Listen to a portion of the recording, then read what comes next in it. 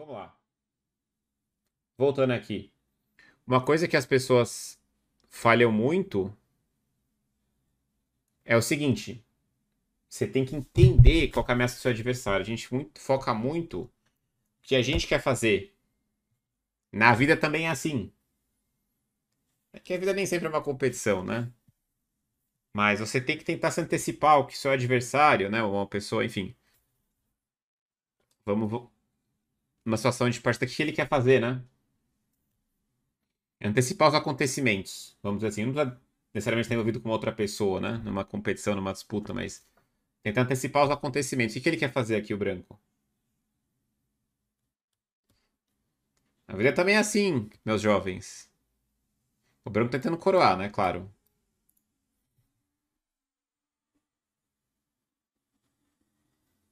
Antecipar a circunstância. Coroa não, claro, mas como ele vai coroar? Sim, sim, coroa tá certo, a intenção dele, né?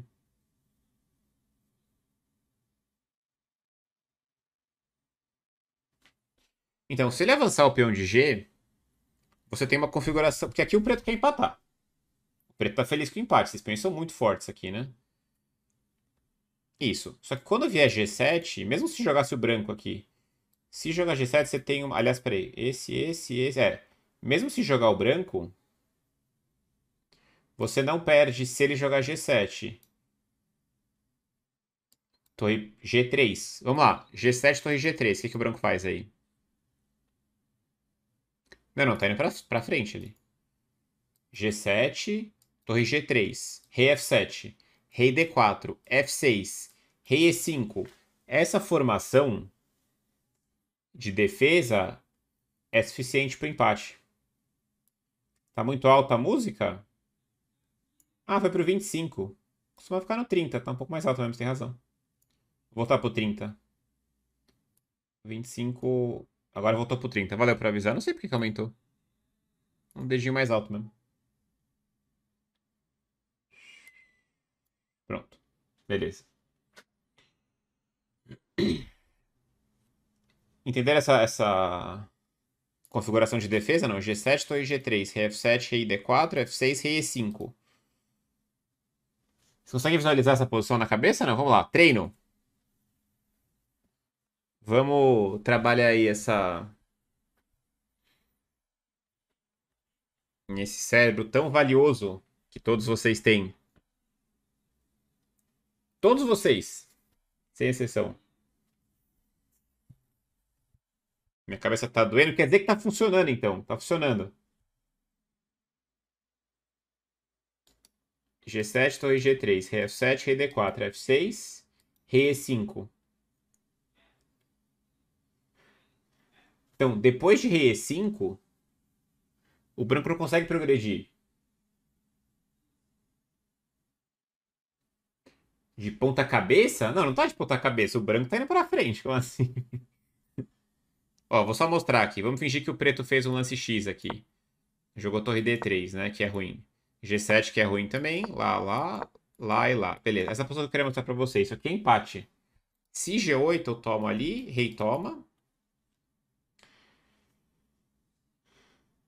Se você jogar aqui, você toma aqui, por exemplo. E se eu jogar aqui, você incrivelmente não ameaça nada de brancas. Não ameaça nada de brancas. Isso aqui é uma configuração de defesa que empata.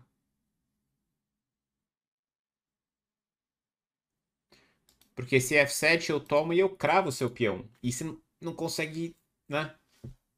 Coroar o peão. Mesmo sem o rei preto estar tá na defesa, né? Legal, né? Essa formação. Essa formação é legal, importante. Acontece bastante isso nesses finais. Digo, é uma coisa que pode acontecer, não é tão, não é tão raro surgir esse tipo de defesa.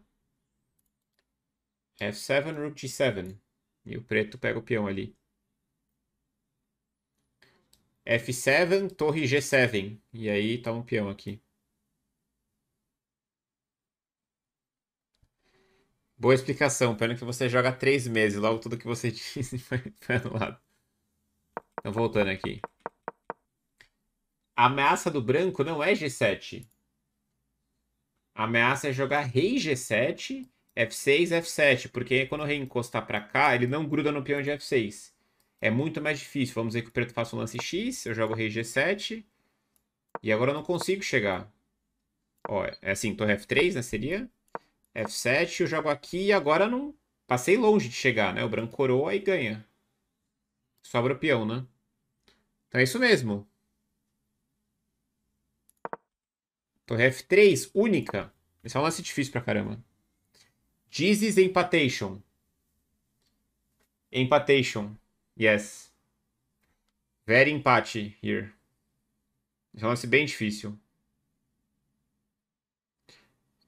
Esse é um lance não é intuitivo. A música do vídeo que o Sup ganhou de você. Verdade. Lá em Catanduva. O que, que a gente tá ouvindo mesmo? Ah, Iron Man. Ah, essa aqui é Wasted Years, né? Pô, era pra eu ter aprendido já. Tablation.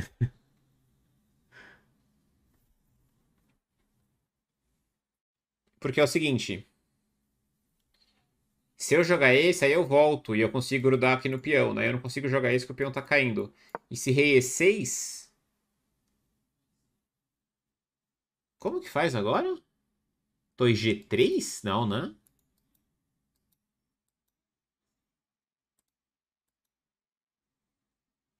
Como que empata agora, depois de rei 6? Rei D4, F6 faz o que daí?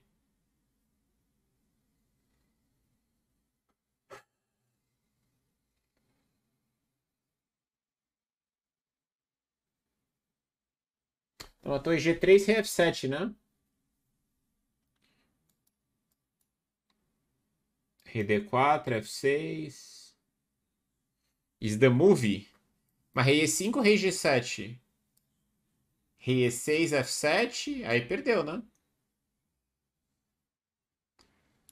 Mas aí, mas aí, mas aí. Rei F7, Sterling. Deve ser esse o lance, mas é rei F7, e aí?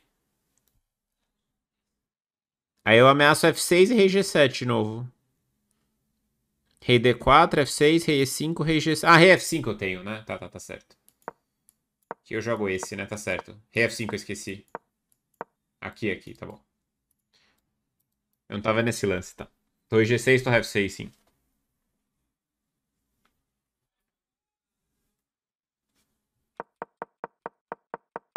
Tá, então é isso. É torre G3. Torre F3 exclama ali desculpa. Aí ele fala um monte de coisa aqui.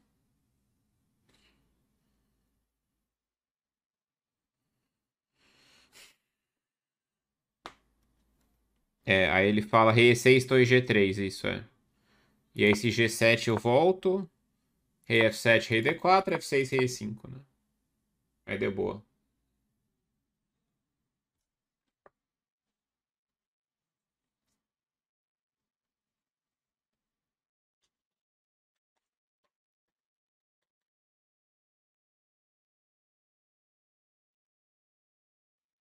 Tá, tem mais um exemplo que eu não vejo muita necessidade. Dvorak já me maltratou muito nesse tipo de final, é. Eu acho muito legal esse aqui, mas são difíceis, bem difíceis, né? Muito cálculo, né? Muito cálculo e um pouco menos de conceito nesses.